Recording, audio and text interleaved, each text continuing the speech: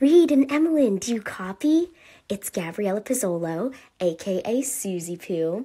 You might remember me from Stranger Things, but right now I am not thinking about Stranger Things.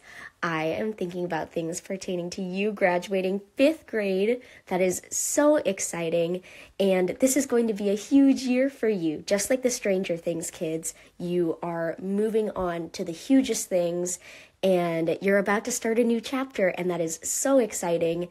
And I know that your mom is so happy for you and so proud of you and everything that you've accomplished.